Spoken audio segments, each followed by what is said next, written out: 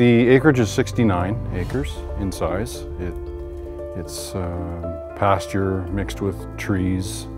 Most of it is thick pines and spruce trees, legacy trees. They're large, not, not very many poplars, so the, the property is characterized as heavily treed and pine with pine trees.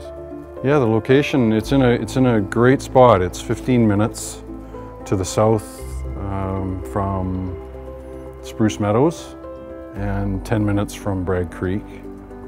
Optimally, it's, it's a great commuting distance.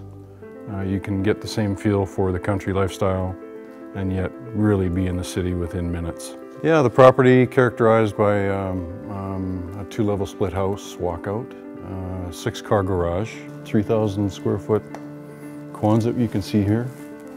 Yeah, the recreational aspects of property is very important. It can be quadding, it can be dirt biking, it can be, as, as mentioned, horsemanship, uh, uh, hiking.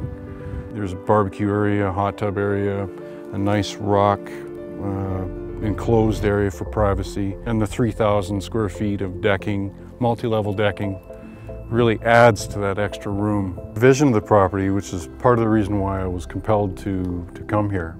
Uh, it's a long-term vision. There's no question about it. It's going to take time, commitment, capital.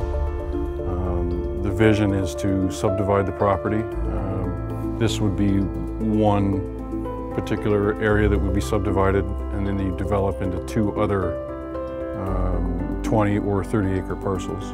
So out here you get a bit of everything and it's all about nature. Uh, appreciation of nature and linking your yourself to that beautiful state and having the ability to take advantage of it. That's the key.